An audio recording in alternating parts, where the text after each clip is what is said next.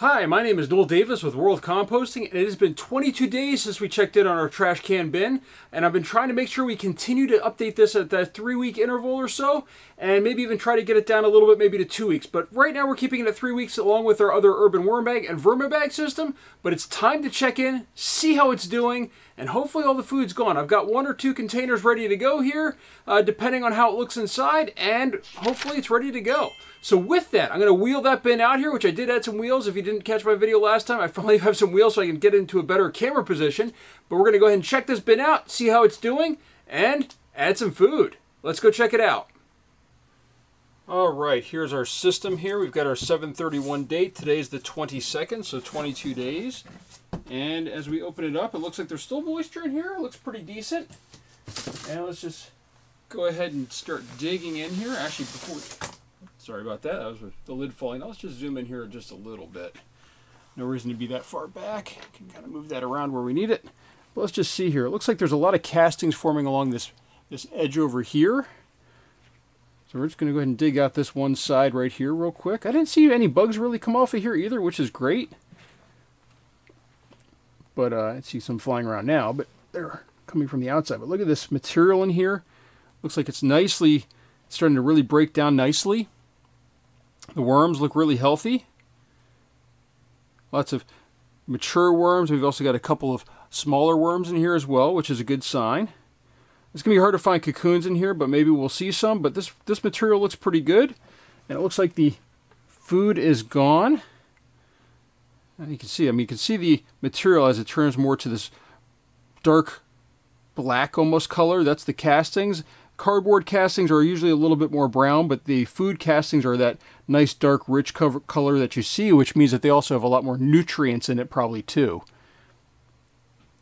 So it looks like they're doing a good job. I'm not seeing, as I said, any food over here, which is a good sign. We are seeing cardboard. let's just go ahead and pull this way a little bit more. You see, no food over here either. Nice healthy castings, nice healthy worms. Looks like there's a collapse down here in the side over there. Up, oh, looks like we got our first little bit of food left with this banana peel. Again, still nice healthy worms in there.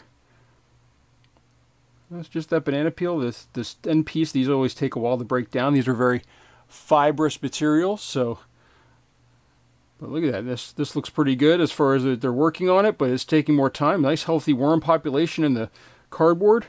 I always tell my red wigglers to kind of go through cardboard sort of slowly so there's a lot of cardboard in here for them to work at, but it's just taking them some time. All right, let's just go around to this other side here. Looks like we had some coffee grounds over here. They might not quite have finished those off fully.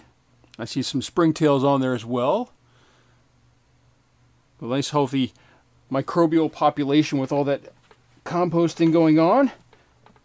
Let's just dig right in here. So you can see the cardboard is still still left over a little bit but the worms are still working at the food. They these worms really do like food a lot more than cardboard, but they were doing a good job on that food. The food is pretty much all gone in here except for that. Looked like there was a patch of coffee grounds right here that they might have still been chowing down on a little bit, and I can see some. Uh, looks like that is probably fruit fly larva of some sort or larva. That is, that is not a springtail. It's too big to be a springtail, and it's moving around in a way that is not a worm either and it's white. So that looks like that's probably a larva from some sort of fruit fly, if I had to guess. So happens. I'm not too worried about it. I'm not, as I said, I'm not seeing a lot of bugs in here, and in my basement it's not too bad either. Uh, so not really worried. Although I could throw a trap in here just to be sure, but look at that. You can see the worms on here looking really good and healthy. So let me get those guys off. Right, let's just one last check over here on this top side let's just see. As I said, we're not finding any food really left over, which is a great sign. And again, this is almost all castings. Look at that. All the food's gone. So they went through all of that in the, the three weeks. All the food is gone. That's a great sign. We're going to go ahead and cover this back up.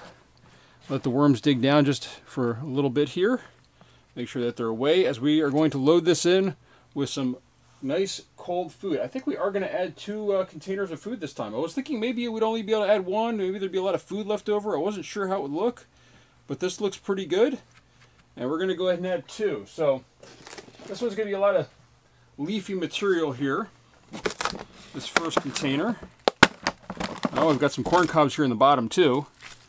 And, uh, oh, it looks like my wife threw a container as well of, uh, this is a probably a blueberry container or something that's cardboard. So they're going to get a little extra, little extra cardboard this time in their diet. But, uh, so we've got some avocado shells. We've got corn. We've got apple. We've got, I think it's a peach seed. We'll see what they can do with this. I don't know if they'll be able to take that apart or not, but we'll leave that in there. Coffee grounds, bananas. Of course, we got our bananas, avocado seed. Now, this is a lot of leafy stuff right here. This is why we're going to add two. These are beets, um, the stems of beets. Usually I would juice these, but unfortunately they just were not, they didn't look quite good when I went to juice. So I ended up just freezing them and throwing them in here. Unfortunately they just did, went bad pretty quickly before I could juice them. And uh, it happens, but I still still eat the beets themselves. So there we go. We got our more banana peels, and then of course we got our piece of cardboard, and it looks like there's some tea on there as well. This is just, as I said, a cardboard container that some, I think some blueberries came in or something. So, can't, once they're wet though, you can't recycle them, so they came down here. All right, let's grab the second thing of food here. Now this is going to be citrusy, it looks like. This one's been in my basement a long time. You can tell by the, oh, there goes the lid, the ice on top here. That's how you can tell that this has really been in here for a while, this ice. So let's just smash that up in here. Make sure that it's going to drain through there, that water. And now look at this. We've got apple cores. These actually feel a little bit soft. I wonder if this is thawing out in the bottom of my freezer or something. We've got a ton of lemons. These are, we bought a whole bunch of lemons and then uh, they went bad very, very quickly, which you know means they get thrown out, unfortunately. But these are a bunch of lemons. They went bad, so they're going to go in here. We're going to see how well they work on those lemons. And of course, we are going to add our crushed egg and crab shell. We're going to do that in just a minute here, but first we're going to break off these coffee grounds a little bit, break this up. This actually feels a lot softer than I expected for something that's been in my freezer that long, but we've got some tea bags in here, and as you can see, we also, and I've done this before, these Twinings tea bags. Um, these seem to break down completely. There's no metal in them.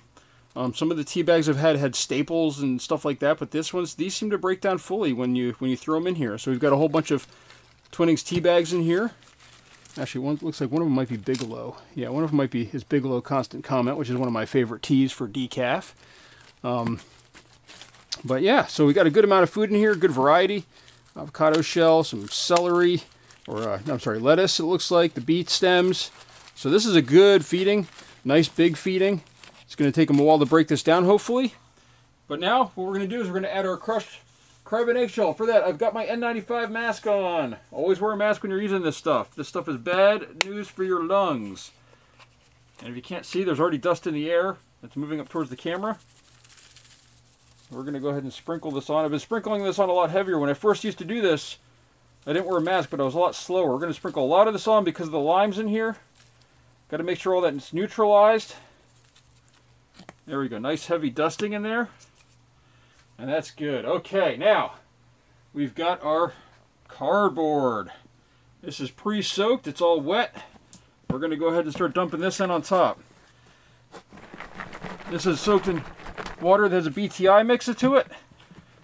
So lots of water in here. Lots of water to hopefully prevent fungus gnats and fruit flies too. Although I don't think it's 100% effective. I know that some people have said it just should just, just uh, start just breaking up the dunks and just putting them right on here. I still don't like doing that. Not that I, I think that it's bad for it. I just don't think that it's going to help all that much more different than just adding water in here with, with it mixed in because it needs water to activate. So if it doesn't get wet, you're just running them through your system. Right, I'm just trying to scrape out this container now. But this is doing really, really well. As I said, it's been 20, 22 days, so just over that three week mark. And we're, it's moving a lot, moving pretty well. And now we're up to this, uh, there's a ridge here. I don't know if you can see that or not. Let me back up just a little bit. Other way. There's a little ridge here, so we're up to that ridge in the trash can, and it's going to fall below that by the time we empty it out, which has been doing, I think, pretty much every time. This was, I really crammed the paper in this time before I put the water in. I think that worked a lot better. I think a lot, a lot of times I've just been kind of laying some water in and then dumping it in here, and that has not been having enough paper. This time there is more than enough paper in there. So I think we're ready to cover this up and put this back for another three weeks. Let me just get the cover here. Put that on here. And of course, oh wait, we need to throw on our little label, say that we checked it. Right here. And that's our update for this week. So this system is doing great. It's keeping up with the VermiBag and the Urban Worm Bag. And it's holding its own. So, uh, you know, if, as a cheaper system, if you if you can't get the Urban Worm Bag or VermiBag in your area, then one of these trash cans can do the job for you. And we'll keep going with this, and then I'll show you the one drawback to this, which is harvesting. And we'll try to maybe get that uh, in three weeks' time. Maybe this with how high this is. Maybe it's time to kind of give it a harvest or a small harvest and see what we can get out of it. So thank you for watching. If you have any questions or comments or just want to just talk online, go ahead and shoot me a message here on the comments and I'll get back to you. Thank you for watching.